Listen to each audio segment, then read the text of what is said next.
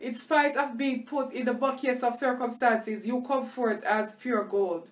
Because the pressure that was meant to kill you will not kill you in the name of Jesus. But just as how a rare diamond is molded in the bowels of the earth, under extreme intense pressure and heat.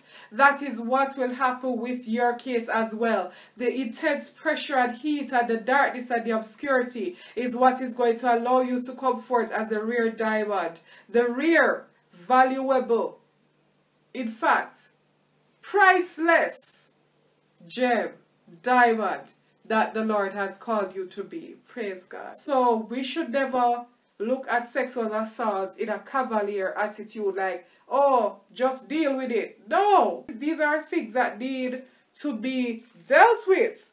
Be that you are not hiding it or brushing it under the carpet, but you're bringing it to the fore who needs to get prosecuted, get prosecuted, whether or not they're in the church, outside the church, or whatever levels in the church, or regardless of what kind of family you have, whether lower class, upper class, middle class, stratosphere class, don't know Make sure that all of these sexual assaults are being reported and are being prosecuted regardless of who it is. Don't right. ever, if you have multiple children, put down the ones who don't do well academically because everybody is seeing the A's, the grade ones, the whatevers and all of those things of your more academically inclined child. Don't put down any child. Make sure that you're not going to diss the person who is doing well academically. No, you're going to encourage them and let them continue in that area. But also don't neglect the ones who aren't the scholars. Because God has a purpose on their life. They can still come out and excel. In some cases, even higher than one them who did have all an education. Yo! Provide the conditions for them to bloom, for them to blossom, for them to grow and manifest and become who Christ has called them to be.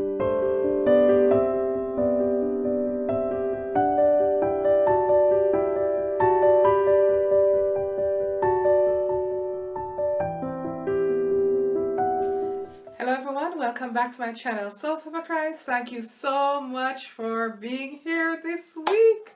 Praise God. But before we go any further let's pray. Almighty Jesus Christ we worship you. We magnify you. Lord you're just awesome. Awesome. You're beyond what any words can express. Lord Jesus I pray dear God that you will even receive, Lord Jesus Christ, our thanksgiving of worship, our thanksgiving of praises unto you in the name of Jesus. Lord Jesus, we thank you for all that you have done, all that you are doing, and all that you will do in the name of Jesus. Father God, we just thank you, we praise you, we worship you for being God in the name of Jesus. Lord Jesus Christ, I pray, dear God, that you'll even take control of this recording, take control of everything that will be shared here this day in the name of Jesus. Father God, let everything be said and done to your glory, to your honor, and in the way that you want it to be in the name of Jesus. Father, Lord, I pray that you bless everyone who will watch this message. I pray, dear God, that even your words that you have given me, Lord Jesus Christ, will go forth in the name of Jesus and even germinate in the souls of these persons, Almighty God, to your glory in the name of Jesus, for the furtherance of your kingdom's mission in the earth, for their good and for the good of persons connected to them in the name of Jesus. Father, Lord Jesus Christ, what we feel of asking you this day, grant it unto us now in Jesus' mighty name, amen. Amen. Praise God. Hallelujah. All right. So this week, this week, we are discussing the importance of knowing who's in your house and knowing who's in your house in terms of your children. Even if it's not your biological children, the children that you are taking care of, knowing who's in your house, uh, so that you are able to safeguard their destinies so that they can become who God has sent them to this earth to be. No, I know in the land of YouTube and many other arenas, for persons to speak on certain topics, it is expected that you should have some experience in the area, what's your clout and all of that. So, you know, the Lord moves in mysterious ways because last week's message, I was thinking when the Lord gave me the topic that I would be speaking from the perspective of me being a female and all of that and single and all of these things. But then, you know, by the editing of that video, I realized that the Lord had his way and what came out was more along the lines of family, more along the lines of children, uh, safeguarding them and stuff like that. I'm like, oh, hmm. And then this week, you know, I thought that was it, right? And then this week's message, the Lord said, no, continue the discussion, but focus on children. So you I look at Jesus and I said, God, you realize I'm not married yet? No. I realize I'm going to have no children. I'm going to have as we say Jamaica, not even one. One, look at the digga pick me. Yeah? So God, why you keep on giving that topic, yeah, but listen, I have learned to just go with what the Lord tells me to do and he will have his way. So if you're looking at it and saying, well, I'm not going to listen to this girl because she not married, she don't have no children, all of that. You're going to be so power the Lord will share with you. So, if God could speak through a donkey, he can speak through me to you. So do not disregard the avenue through which God chooses to bring the message. Alright? Amen. Good. So now we are going to continue this discussion about child safety, but most especially being able to discern who exactly you have in your home. Who is your child meant to become? what is the mandate of God upon this child's life and also what you need to do and how you need to behave in relation to this child so that this child can become the glorious child that Jesus has designated him or her to be. Praise God. Stay tuned. So how we're going to proceed with this discussion because again, this is another discussion slash story time format you know, that's just what the Lord wants me to do with this message. So what we're going to do is to look at some key characters in the Bible and then of course link that back to the whole idea or the whole topic of knowing who's in your house so that you can nurture these children into who God has called them to be, as well as based on these stories, these cautionary tales, what we should not do both from the perspective of parents and the perspective of children or young adults. Alright, so the first story is that of Samson. And we know Samson, the strong man, the mighty man. Well, this is a case where the Lord reveals who he was intended to be. His spirits received it. They, on their part, did everything that they could to ensure that the purpose of God would come forth in his life, but Samson himself did not respect the revelation of God upon his life, and he went off kilter and he was destroyed before his time. So Samson's father Manoah, he and his wife, they received from the angel of the Lord certain strict instructions about how Samson should behave, how Samson's diet should be, and how he should keep himself. He was meant to be a Nazarene, though razor was supposed to go upon his head. That's where his strength lied, in his locks. Of you know, course, the last he would expect would be for him to be trying to have relationship with women of the enemy tribe because he's supposed to fight against the Philistines to ensure that Israel would remain free. So his parents did all of these things and they obeyed the Lord. But Samson did not feel that all of these restrictions were necessary. And sometimes when you have anointed men and women of God, and they're coming into their own as adults, then the enemy knows how to set the traps for them so that he seeks to pull them out of their purpose. Because especially when you start walking in your purpose from an early age, the enemy tries to set up these roadblocks to knock you off kilter, to keep you completely walking opposite to what God has called you to be and do. And then the ultimate thing is that you don't necessarily get the chance to do something bad and come back again because the mandate of God upon your life is so great it's so powerful. He seeks to knock you out like straight away. Because that's what the Philistines were doing. They saw that Samson had an affinity towards their women, which in the Israelite context would be strange women. These were women who were not worshipping the true God. These were completely alien, foreign, even satanic women. But these were the women that Samson was attracted to. And of course, the enemy used that, Delilah, to get at the source of his secret, get at the source of what made him unique and destroyed it.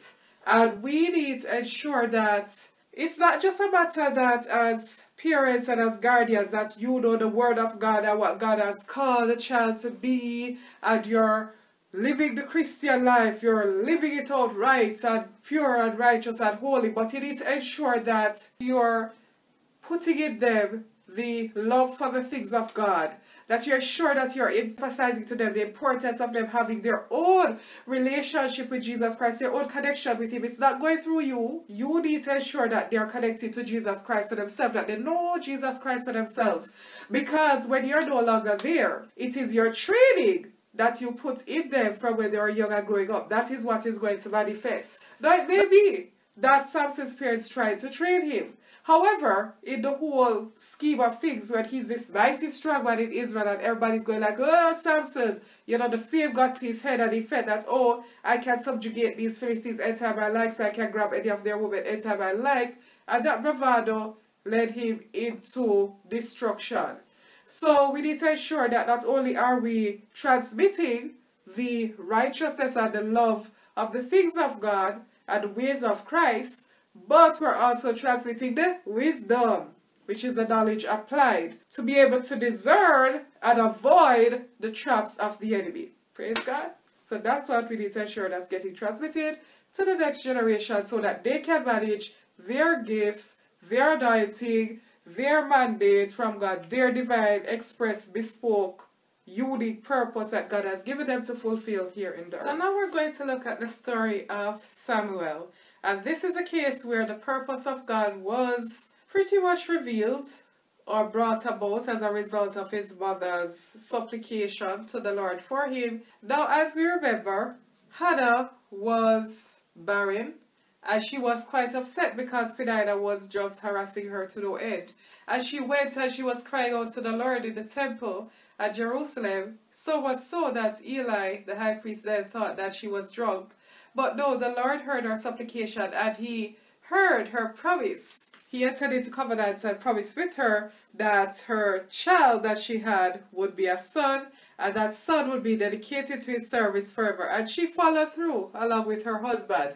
And so we see the case where Samuel grew up in the house of God from his tender years so that the will of God for this child manifested. And as a result of Hannah being obedient to her covenant, to her agreement with the Lord, she had many other children. In the case of Samuel, he knew the voice of God from his youngest, tenderest years. And it was the case that although Eli wasn't walking with the Lord as he should, although Eli didn't do what he should with his own sons, Hophni and Phinehas, to ensure that they were being righteous before the Lord, to ensure that they were reverencing the things of God. Even in his best of state, he was what Samuel had around him.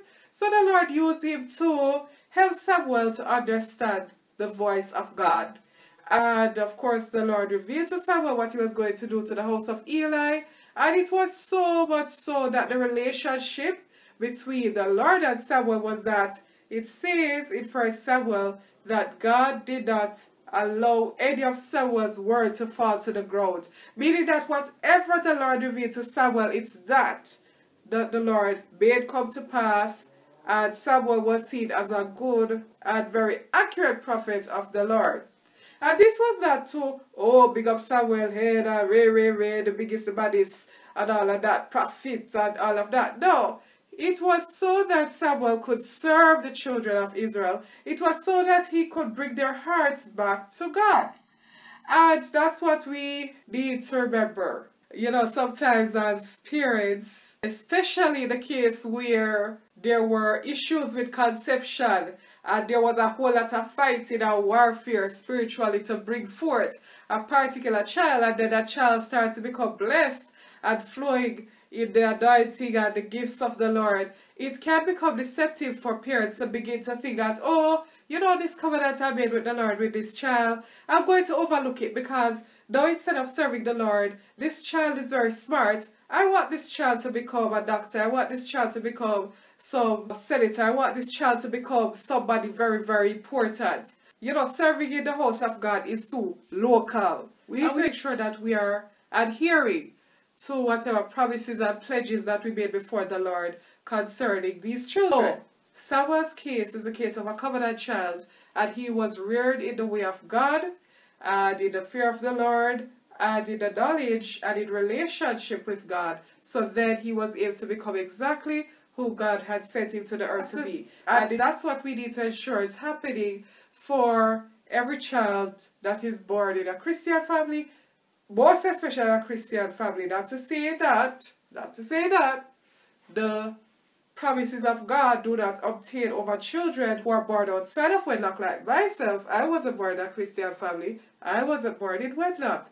But yet, God has a purpose upon my life. However, because I wasn't born in the environment to foster it, it took quite a lot for me to enter into what the Lord has called me to be because I didn't have the structure. So, like so, I was saying last week, not because you have a Christian home, not because you and your spouse, you know, your husband or your wife, you're serving Christ so wholeheartedly, that doesn't mean that the enemy won't come after your children. No, because he recognizes that these children have one of the best chances to become who Christ has called them to be because they don't have the usual encumbrances of other children who are born in single parent homes, who are born in homes where the word of God and Christ isn't really what is followed. So he seeks very rigorously to take them out from an early age. So you need to be aware of that and ensure that they're growing in their relationship with Christ for themselves so that the promise of God upon their life can manifest. Praise God. And now we're going to consider the case of David, who was born in a family of many sons, but yet, as a last son, he was very much overlooked. He was not cared for. And some scholars say the reason behind David not being loved and treated well in his family, as evidenced by the fact that he was the only person taking care of sheep in a family of eight sons, was that he was born in some dubious circumstances, such as there was some illegitimacy surrounding his birth. But we don't know for certain. But David's case is a case where an anointed child is sent to a home, is sent to a family, but they are not only not regarded, they are not taken care of very well, they are ignored, they are ill treated, they are the proverbial black sheep of the family. They are not seen as anything or anyone of worth. But yet, hallelujah, thank you, Jesus. The Lord's purpose, the Lord's express will, the Lord's mandate was upon David, and even in the case of children like him, what is upon those children to come forth and manifest powerfully. But it's a case that they were not fostered, they were not cared for. It was literally they were left to be at their own, and it's, it's only the mercies and the grace of God that they're alive, that they entered into what God has called them to be. And if that is you, I don't want you to, thank you, Holy Spirit, become bitter, to become hateful because you were never understood, because you were never loved, because you were never cared for, because you were always overlooked. Because I want you to know that it doesn't matter how you're treated. It doesn't matter what was that done for you or unto you the purpose and the will of God will manifest in your life as long as you stay close to Christ. As long as you stay close to Christ and you seek after Him and, His ways, as long as you're diligent even in those menial positions, even in those oppressive situations, you're still being faithful and you're still doing what you need to be doing despite the fact that the persons you're doing it unto and for, they don't really deserve it. The Lord is watching. He sees you. He knows the true intent of your heart. So don't become bitter. Don't become angry. Don't become hateful. But let just the grace of God, the blood of Jesus, just wash your heart, wash your heart, wash your mind. So that you can, in spite of being put in the buckets of circumstances, you come forth as pure gold because the pressure that was meant to kill you will not kill you in the name of Jesus. But just as how a rare diamond is molded in the bowels of the earth under extreme intense pressure and heat. That is what will happen with your case as well. The intense pressure and heat and the darkness and the obscurity is what is going to allow you to come forth as a rare diamond. The rare, valuable, in fact, priceless gem, diamond that the Lord has called you to be. Praise God. So, this is a situation where we see only Jesus. We just, only, it's only God while children like in these situations come forth. And as I shared last week, children who have been through not only neglect, but sexual abuse, physical abuse, emotional abuse, you know, they were told they would never come out to nothing. They were told that they're like their daddies, like their mommies, and in all the negative sense, and um, all of these things. It's difficult to rise above what you have been told so long. But I want you to know that you're not who your relations have said that you are. You're not who anyone has cursed you out and said that you are. You're who God has called you to be. And I want, especially for children like these, it's easy for the enemy to tell you that, you know, why did God intervene and give me better parents? Why did God intervene and not let me become abused? Why did God intervene in these many instances where I was being violated? But I do not want you to become bitter and distant from the Lord because that's the enemy's plan. Even as all men and women have free will, and all evil and such has happened to you, I want you to know that your testimony of breakthrough, your testimony of victory, in spite of the things that were done to you, in spite of the intense battles that you had to face, your story will encourage others. Your story will set others free. And you coming into who God has called you to be, in spite of all that has been done to you, is what will be the deliverance of many persons after you, is what will actually shift and change the landscape of your country, the landscape of your world, of your society. And you will be a mighty catalyst in the hand of the Lord. But first, you need to surrender to Him. Understand that He's your good, good Father. You may not have had a good father, or you may not have had a good mother, but know that God will never leave you or forsake you. So surrender to him. to him. And for those of you who observe these situations of children who don't have any good parents around, or persons who love and care for them, any good guardians, please ensure that you are not looking at them and saying, oh, you know, they're taking care of them, so why should I know? Make sure that you are presenting yourself as a vessel to be used by God so that you can even provide comfort, so that you can provide care, so that you can provide deliverance for these children. Because you see, when they come forth into who God has called them to be, these are some of the children who have gratitude, who remember the smallest blessings that persons have done to them when they were in their darkest hours. And you're not doing it because you're trying to get you know, oh, I'm doing it because who knows, they might come out to be a millionaire and I want them blessed with. Mm -mm. You're doing it as unto the Lord. Even if those same children that you help, none of them ever come back to you, know that your reward and your blessing for being the hands and the feet of Christ is what is the ultimate. Praise God. True. If the situation of David sound like your case, don't give up. Push through. Fight the good fight of faith do not compromise your morals. Do not compromise even the purpose of God and the instructions of God upon your life. Don't compromise. Hold on to Christ. If you don't know Him, come into relationship with Him. Because you see that this case where you have all of these warfare, spiritual and natural, that you need to fight, you need the strong man, the mighty man on your side, even Jesus Christ. So come into relationship with Christ so that His purpose upon your life can manifest and so that you can be a blessing to your generations and the ones to come. In Jesus' name. Amen. So now we're going to go into the more cautionary tales. And we're going to look at two sons of David, Amnon and Absalom. So Amnon was one of David's sons, and he had his sister Tamar, who was like his half sister, but in our grand scheme of things, I still his sister. However, Amnon was influenced by an evil friend or an evil cousin who, when he realized that Amnon had this unhealthy sexual attraction to his sister, he didn't say to Amnon, No man, you can't do that to your sister, how you want to go with her? He instead gave Amnon details in terms of how to fool David into sending Tamar to his house to make food for him so that he could rape her. And of course that was done and it was horrible, horrific. Now this is the scenario where of course you have children being born into privilege, children being born into the best circumstances, but parents aren't being vigilant in ensuring that the persons around them are godly.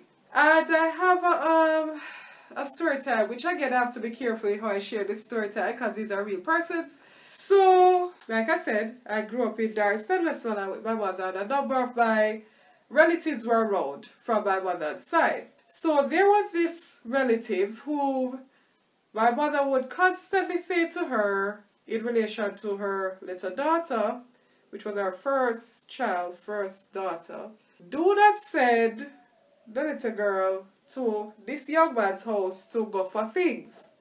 Well, this young man was related to the relative through marriage. My mother kept saying, I don't feel right about you sending her around there. I don't feel right about you sending her to be watching TV in his house because he had cable and all of them things.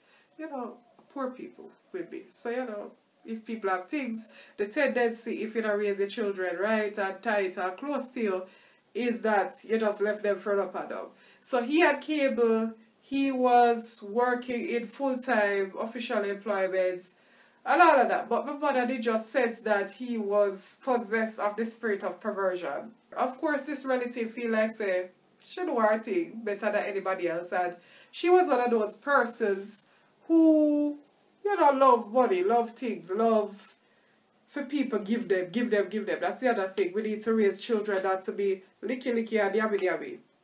In, for those of you who are not Jamaicans, licky licky and yabby yabby just means be greedy, grasping, and willing to accept things without questioning it to one's own detriment, right? So, this continued until eventually the unthinkable happened. yeah, so the child was groomed sexually and introduced to sex from an early age. And then unfortunately began. It's not like we had any evidence that it was done, but you could sense from as a result of her being around him, around him, around him, that her mannerism around him was like that, you know, said like the plague and so forth was that, you know, said and the mother kept saying to the relative, stop, stop, stop, you know, you know, say whatever. But you know, in Jamaican context, you can't only counsel people, you can't force them.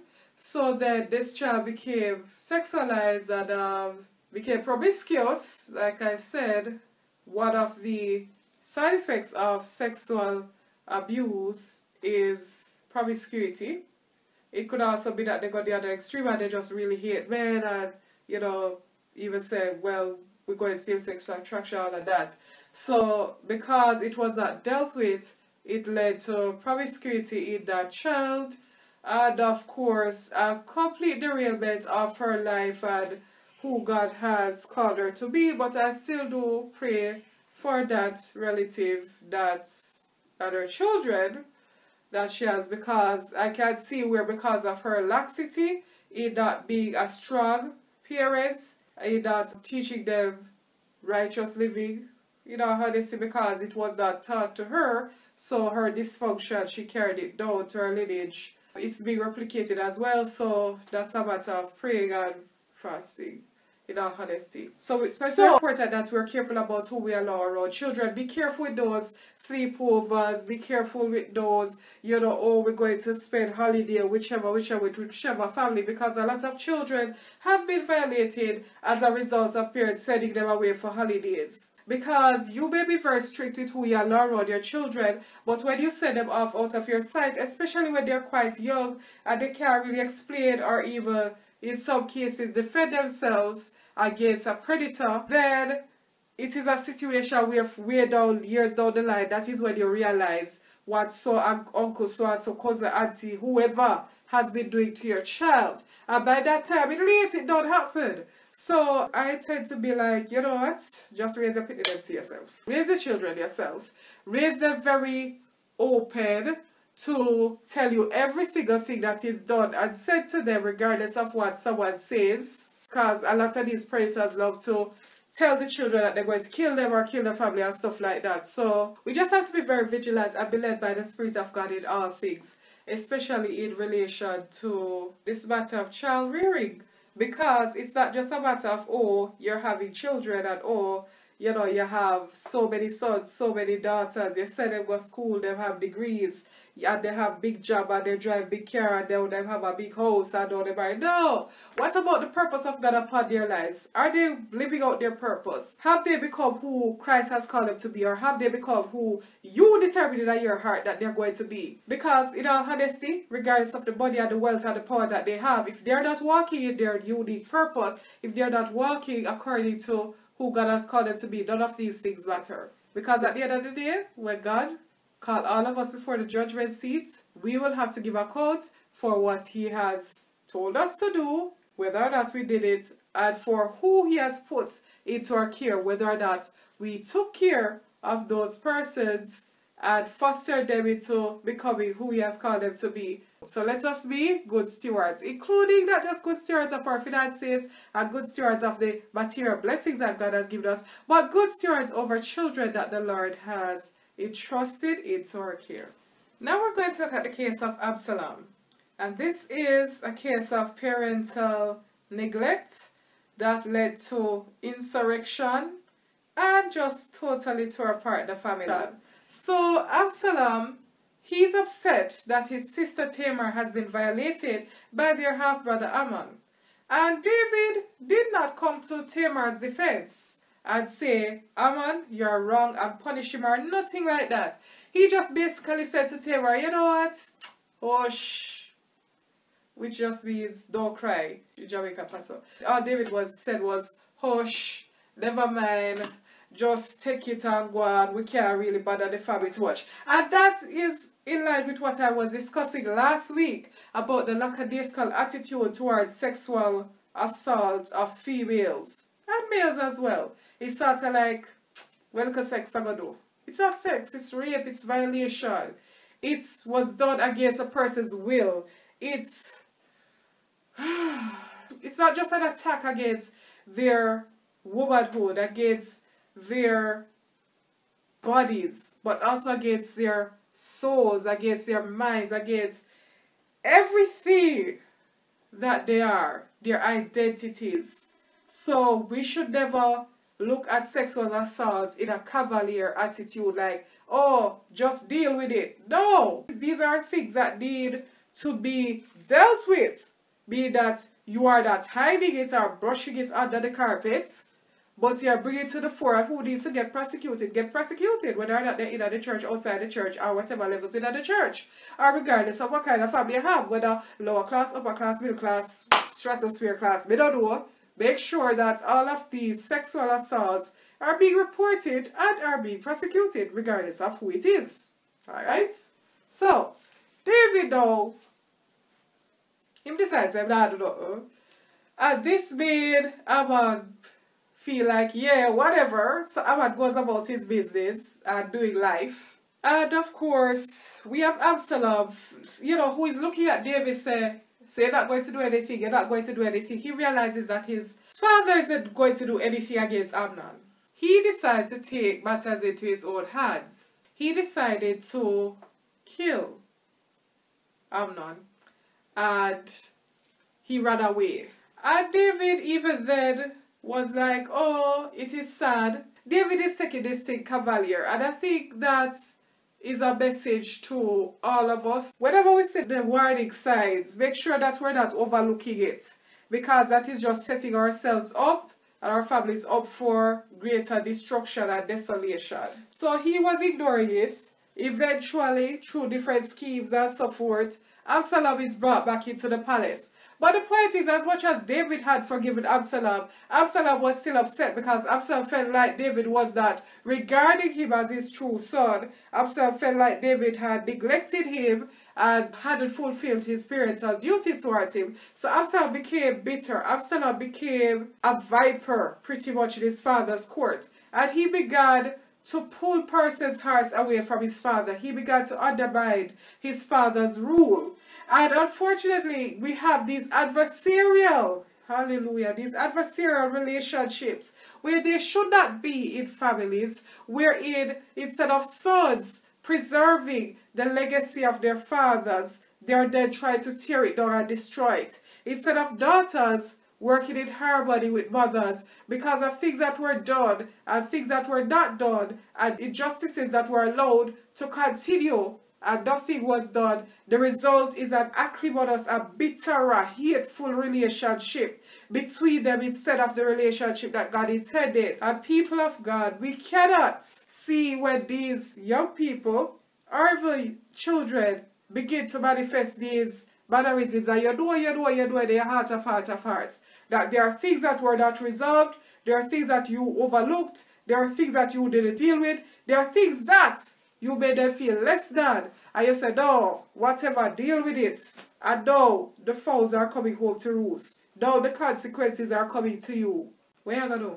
If the foundation be destroyed, what can the righteous do? The foundation was not at all set for righteous, godly lineage to ensue. So now this was a case where Absalom eventually tried to overthrow David. And we can say, well, the whole matter of Absalom and Amnon and, and Tamar and all of these things sprang from the situation with Bathsheba, when David killed Uriah and took Bathsheba as his wife. And of course, this was a part of the judgment of God, the destabilization of his own family, because he gave the enemy leeway into his house. And we cannot become lackadaisical when, unfortunately, things are kicking off in our families and things are kicking off among our children and then we don't do nothing uh, at all. If you can't do something like natural, you can't do something in the spiritual sense. You can't fast and pray. You can't intercede. But of course, you have to first make sure that you're coming to the Lord in repentance because there were sins that were done. There were injustices that were allowed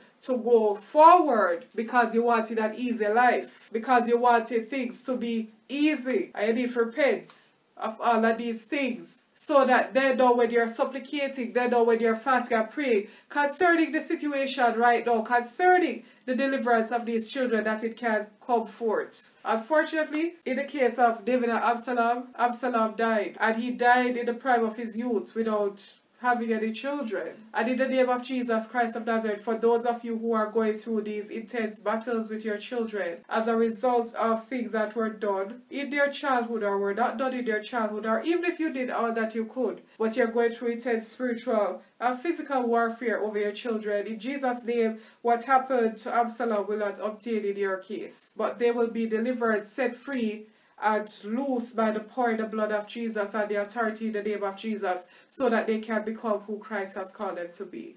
Amen. So another story that I want to share with you is the story of the daughters of Zelophehad. I know, I probably mispronounced his name. Zelophehad?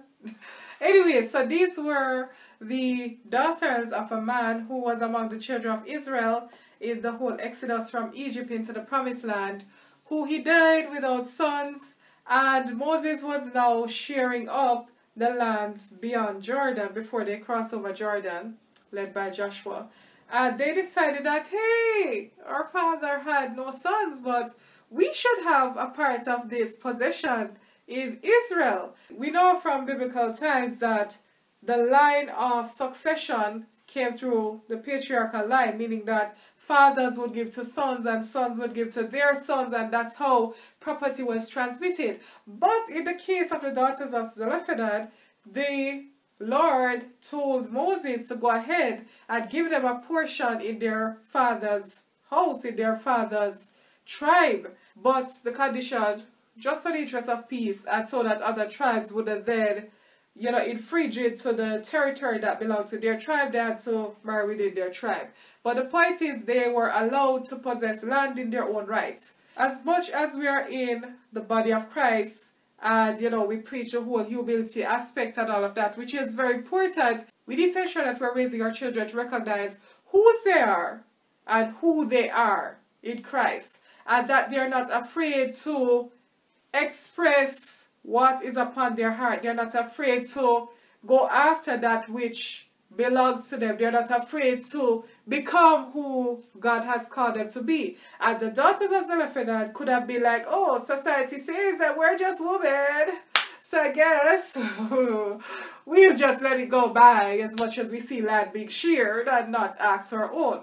Right? But they were fearless. And kudos to Zelophehad. He reared daughters who were steadfast even in a highly patriarchal culture. They were doing the thing and them like, yeah, they were outspoken. So these were women of substance and of worth. So regardless of the gender of our children, we need to ensure that we're rearing them not just in the knowledge and in the fear of Christ and the things of Christ, but also to be able to function well in society, to be able to hold their own so that the purpose of God, the mandate of God upon their lives will manifest and they will not miss out on anything that God has intended them to possess in this time. They will not miss out on anything that God is calling them to do and to excel in in this time.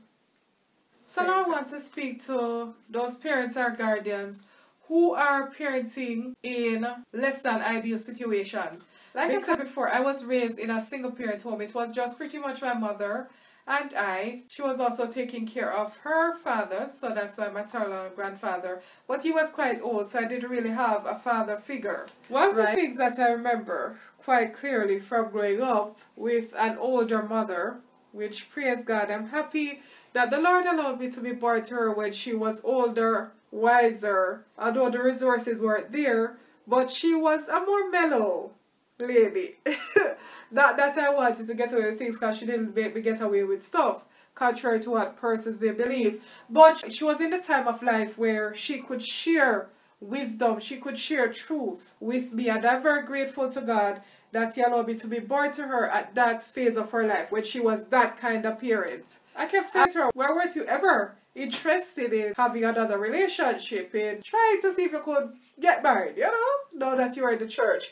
And she was like, I realized the mistakes that I made rearing your older siblings, and I can't go back and change things out because things done gone through. But I decided that with this last one, which is me, I would do things differently. I would be very clear to you about things. I wouldn't hide anything. I would make everything open. So I was sort of like her last ditch attempt at parenting well, which by the grace of God, she did a very good job. As well, she, she said, I don't want to have a man coming in now. She was said, more than likely, me taking up a man now, he would decide that he's going to be bothering you. And I don't want anything like that to happen. So, you know, my mother decided to remain single because she was in her 40s, heading her 50s when I was in my childhood, becoming a teenager. That was how her years were lined up.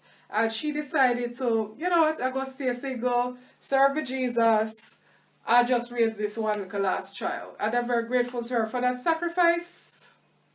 I'm really grateful.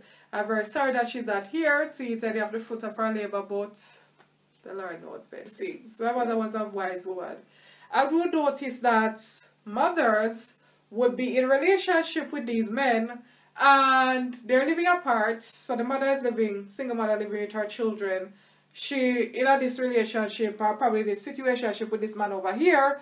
And she decides that she's going to send her child male and female to the man's house for money and all of these things. And my mother would always say, you know, this is how you open up the way for the for these children to be violated. Because it's not like you're in a solid relationship with this man and you're sending your little girl, especially to him to get money. You are then putting her in the mindset that to associate every relationship that she enters with, you must be getting something from him. And this man, who is this big trunk man, who is likely highly perverted, is going to decide that, oh, he's sleeping with the mother, but he's going to take the daughter as brata or extras as well. And this is how you have sexual abuse happening to the little children and they become sexualized and then their lives and their destinies are forever perverted. So that was one of her pet peeves. Women sending their little girls, especially to their boyfriends or them man, feel get money, get things and all of this stuff. And she really hated that.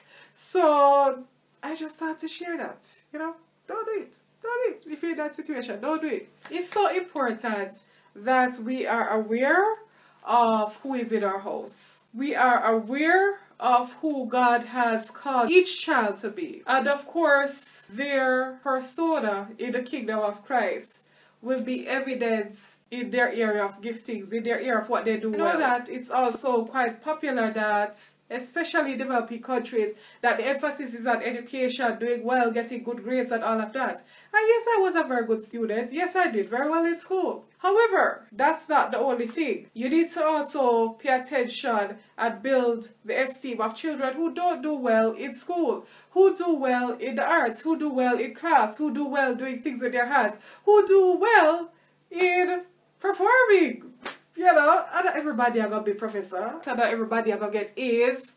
You understand? So it's important that we are understanding that we know who each child is called to be and you'll have an understanding of that based on their areas of gifting based on what they do very well what they do that you look at it and you say you know what you're really unique you know the feel said that's a really a gift and everybody would come and say oh she can't do here goody is our gift don't ever, if you have multiple children, put down the ones who don't do well academically because everybody is seeing the A's, the grade ones, the whatevers and all of those things of your more academically inclined child. Don't put down any child. Make sure that you're not going to diss the person who is doing well academically. No, you're going to encourage them and let them continue in that area. But also don't neglect the ones who aren't the scholars, because God has a purpose on their life, they can still come out and excel. In some cases, even higher than one them who did have all the education. Yo, you see, in this God's economy, you see, in God's kingdom, there is no telling who can become what in the future. So make sure that you are fostering each child to the best of your ability in accordance with the revelation of the Holy Spirit of God, and so that you can provide the conditions for them to bloom, for them to blossom, for them to grow and manifest and become who Christ has called them to be. So let's pray. Lord Jesus, I thank you, Lord, for this word that has gone forth, even as you intended it, Father, Lord Jesus. Lord Jesus, I pray, dear God, that even parents, even guardians, anyone who comes across this message, Lord, that it will even resonate with them in the name of Jesus. It will even germinate in their souls, in their spirits, and even change their outlook on life, even change the way how they see children, even their own children, Almighty God, even the children, Almighty Jesus Christ, that you have entrusted into their care, regardless of whether they are parents, guardians, or even teachers or other caregivers in the name of Jesus. I pray, Almighty Jesus Christ, that you will give even wisdom, dear Jesus Christ, unto these parents, these guardians, these caregivers, Lord Jesus Christ, so that they'll be able, Father, Lord Jesus Christ, to discern who you have called each child that you put in their path to become. How they can even, Lord Jesus Christ, be your hands and your feet, Lord Jesus, to serve these children in the name of Jesus. Father, Lord God, I pray, dear Jesus Christ, that you'll even help them, dear Jesus, to even do things the way how you want it to be done and that according to their intellect, according to what they believe to be right, according to what their own carnal desires and wishes and aspirations were. Almighty Jesus Christ. And Father God, I pray, dear God, for these parents, Almighty Jesus Christ, whom certain things have not happened in their lives and they believe will never happen. So that they seek their Jesus Christ to impose their vision and their dreams upon their children and levy it upon them and tell them that they have to manifest it. Father Lord Jesus Christ, we break that spirit in the name of Jesus. If that spirit of undue control and witchcraft in the name of Jesus, we break it by the blood of Jesus. Father Lord Jesus Christ, I will declare, I will declare that each child in such homes, Almighty Jesus Christ. They will become who you have called them to be in the name of Jesus. Father, Lord Jesus Christ, I pray, dear Jesus, for those children who are neglected, who have been neglected, who are even abused, Almighty Jesus Christ, who are overlooked, who are not loved, who are not cared for, Lord Jesus. I pray, dear God, that you go forth, dear God, and strengthen their hearts. I pray, dear God, for your peace that passes all understanding to envelop them right now. I pray, dear God, for your love, Lord Jesus Christ. Your amazingly deep and constant love, Almighty to Jesus Christ. Will even just envelop them, Almighty to God. Will even just seek into the very depths of their souls in the name of Jesus. Help them, dear God, to know that they are loved. Help them, dear God, to know their Father. That even if they never had a good Father in this earth, that you are the ultimate Father. You are the good, good Father. And that's who you are and who you'll always be in the name of Jesus. I pray, dear Jesus Christ, even for even those children who are born in the circumstances that on the outside look ideal, who are even born in the house of God in the name of Jesus, who are even born pretty much upon your altar, Lord Jesus Christ. I pray, dear God, that their parents, hallelujah, will not become lackadaisical, will not become lapse in their duties and obligations towards these children, but their eyes will be sharpened by your Holy Spirit. Their eyes and their discernment will be sharpened so that they will be able to protect and safeguard these children's destinies in the name of Jesus. Father, Lord Jesus Christ, I pray, dear God, even for the teenagers, dear God.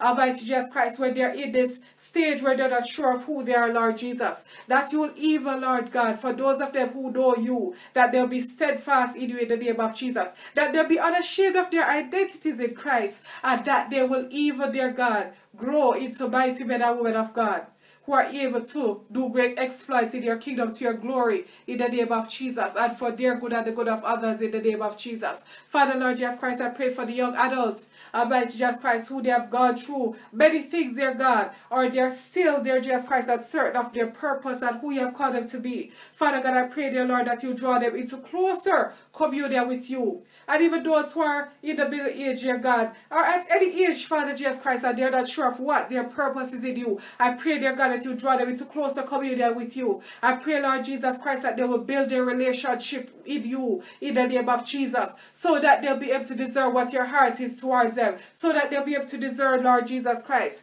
all of what you have put inside them, and that you're waiting for them to pull out and to begin to multiply so that they can bless their generation, so that they can bless their world, so that they can even effect good and lasting changes in their spheres of influence in the name of Jesus.